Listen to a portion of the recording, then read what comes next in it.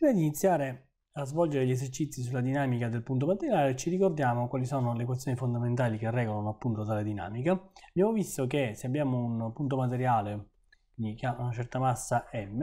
e su questo agisce una serie di forze che hanno come complessiva risultante la F, quindi la sommatoria delle F con I che agiscono sul nostro corpo equivale a un'unica forza eh, risultante F, questo punto materiale si muove con una certa accelerazione dovuta a tale forza e il legame che c'è tra accelerazione e forza è dato dalla relazione F uguale m per A, dove questa ovviamente è una relazione vettoriale tra il vettore forza e il, il vettore accelerazione.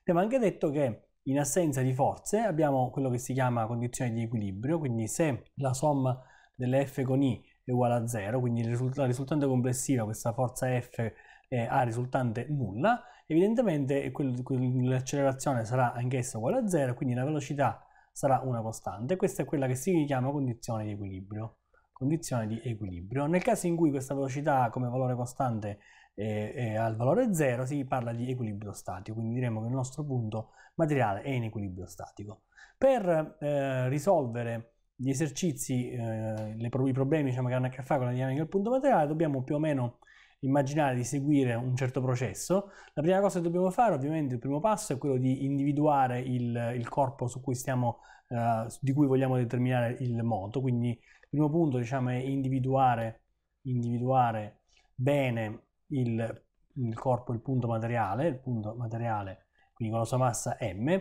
Successivamente dobbiamo costruire quello che si chiama il diagramma di forza libera, ossia individuare le forze che agiscono, individuare tutte le forze che agiscono, tutte le forze che agiscono sul nostro punto M, quindi fare quello che si chiama il diagramma delle forze, diagramma delle forze, o prende anche il nome di diagramma del corpo libero. Una volta abbiamo individuato tutte le forze, ovviamente siamo uh, in condizione di uh, individuare quali sono, qual è l'effetto di queste forze, che sarà appunto un'accelerazione. Prima ancora di fare questo, mh, ci conviene a questo punto, una volta individuate le forze, scegliere opportunamente un sistema di riferimento, quindi scegliere un sistema di riferimento, sistema di riferimento, quindi normalmente un sistema cartesiano di assi x e y lo possiamo scegliere opportunamente in modo da semplificarci poi la risoluzione dell'esercizio. E quindi una volta trovato scelto il sistema di riferimento possiamo scriverci le equazioni del moto, quindi scrivere le equazioni del moto che saranno ovviamente del tipo f uguale m per a, ovviamente una relazione vettoriale che poi eh, può essere scritta anche sotto forma di, di relazioni scalari eh, in x, y, eventualmente anche in z, ovviamente il nostro sistema di riferimento è un sistema tridimensionale, quindi questa relazione la possiamo scrivere in x, y e z, la possiamo tra trasformare in tre relazioni scalari in x, y e z. Quindi una volta trovate queste equazioni dobbiamo risolvere, quindi risolvere il moto, quindi risolvere le equazioni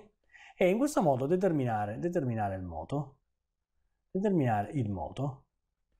che può significare o calcolarci l'accelerazione qualora l'esercizio ci richiede di calcolarci l'accelerazione o ad esempio calcolarci le forze qualora l'esercizio per esempio ci imponga di trovare un sistema di forze tali da avere una certa accelerazione può essere più o meno che può essere diversa da 0 o uguale a 0 qualora ci troviamo in condizioni di equilibrio. Una volta trovate le equazioni, risolte le equazioni e trovato quindi il modo del sistema, eh, possiamo ovviamente verificare, quello che conviene far sempre, verificare le equazioni che abbiamo uh, scritto. Questo ancora prima di iniziare la risoluzione bisogna verificare se le equazioni scritte sono corrette da un punto di vista dimensionale, cioè assicurarsi che da una parte e dall'altra delle nostre equazioni siano sempre presenti membri che siano omogenei fra di loro, quindi che abbiano le stesse dimensioni fisiche. Ovviamente un'equazione di questo tipo, mm, se la forza nell'equazione del moto, se la forza è costante nel tempo, anche l'accelerazione sarà costante nel tempo e quindi avremo a che fare con un moto uniformemente accelerato e quindi potremo sfruttare le, con nostre conoscenze le equazioni che ci descrivono il moto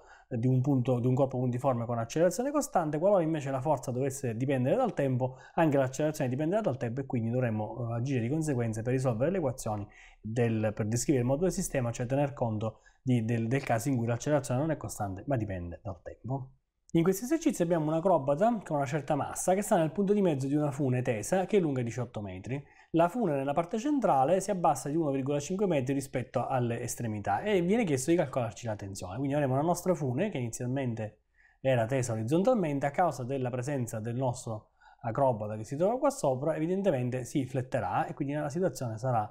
di questo tipo, con l'acrobata che è esattamente messo al centro, quindi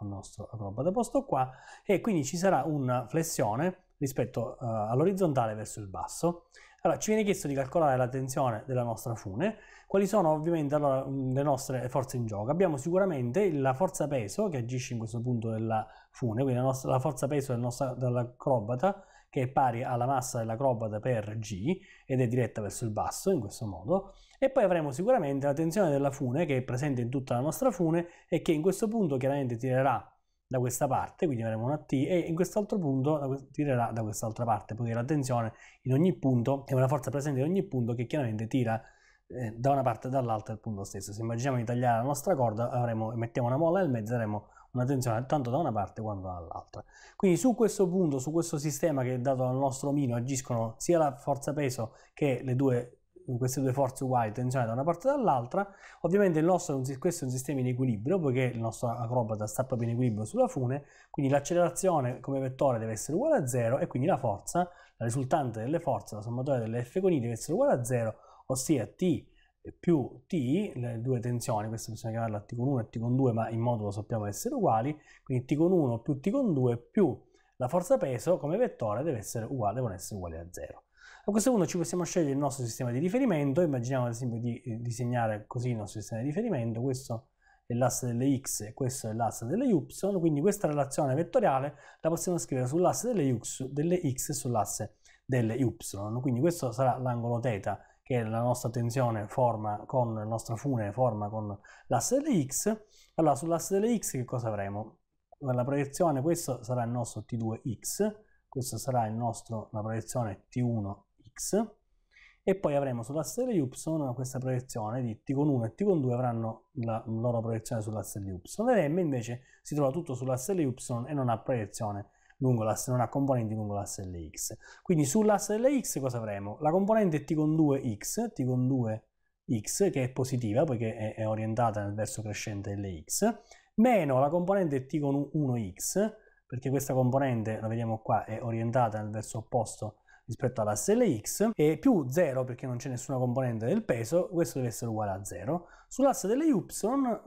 abbiamo, quindi questa ovviamente sarebbe la proiezione lungo l'asse LX di questa equazione. Sull'asse LY avremo la componente della T2 lungo l'asse LY che è orientata verso l'alto, quindi è positiva, T2Y, più T1Y, perché anche la componente di T1 sull'asse LY è orientata verso l'alto, quindi si va presa positivamente, meno m per g, poiché il nostro peso è tutto orientato lungo l'asse di y, ma è diretto verso il basso, quindi la sua componente è negativa. Questo deve essere uguale a 0. Quindi in questo modo abbiamo due equazioni, che sono queste, nelle incognite mm, t con 1 e t con 2, ma t con 1 e t con 2 sono eh, uguali, quindi in realtà nel, nel, nel, nell'incognita t con 1x e t con 2x, t con 1y e t con 2y, tenendo conto che eh, abbiamo detto, visto che la tensione nella corda deve essere unica, il modulo di t con 1 deve essere uguale al modulo di t con 2, che deve essere uguale a t. Allora, se questo abbiamo chiamato questo angolo θ, in, uh, abbiamo indicato con θ questo angolo, avremo che t con 1 x sarà uguale alla, al modulo, quindi a t con 1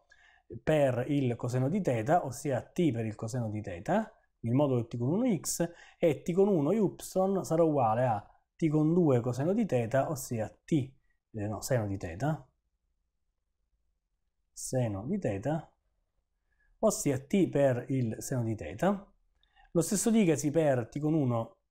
eh, per t con 2 x sarà uguale anch'esso in modulo a t coseno di θ e lo stesso dicasi per t con 2 y sarà anche questo in modulo uguale a t seno di θ. Quindi i moduli sono questi, quindi se questo lo andiamo a sostituire qua dentro ovviamente otteniamo da questa relazione banalmente che t con t coseno di θ meno t coseno di θ deve essere uguale a 0 e questo diciamo, ci dà, um, non ci dà praticamente nessuna informazione, cioè ci dice semplicemente che dato che il sistema è simmetrico le due componenti lungo l'asse x devono essere uguali a 0, mentre lungo l'asse y possiamo scrivere che t seno di θ più t seno di θ deve essere meno m per g deve essere uguale a 0. Questa relazione ci permette di scrivere e di ritrovare a questo punto il valore di t che rimane la nostra unica incognita, ossia t deve essere uguale a mg fratto due volte il seno di θ. Quindi se andiamo a scriverci il nostro seno di θ, poi lo possiamo scrivere in funzione della geometria del sistema, poiché abbiamo che questo angolo qui dobbiamo considerare che questa altezza qua, questo dislivello lo conosciamo, sarebbe, lo possiamo indicare con D, sarebbe il nostro metro e mezzo, e questo pezzo qua, questa lunghezza qua, quest'altro cateto lo conosciamo perché, anzi questo ipotenuso lo conosciamo perché sarebbe L mezzi che la lunghezza della nostra corda che complessivamente sappiamo essere lunga 18 metri. Quindi se la nostra corda complessivamente è lunga L, questo tratto sarà L mezzi visto che la crobata per ipotesi è posta a metà e questo tratto qua, questo dislivello di quando si è abbassato la nostra crobata rispetto all'estremità è uguale a D. Quindi questo ci permette di scrivere che il nostro 2D, se, se andiamo a,